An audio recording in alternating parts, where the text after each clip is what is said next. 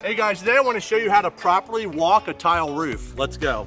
As you're walking a roof, you want your foot, in this case it's a Spanish S concrete tile, you want your foot to cover both hubs of the tile as you walk up. It's really a good idea to walk diagonally as well.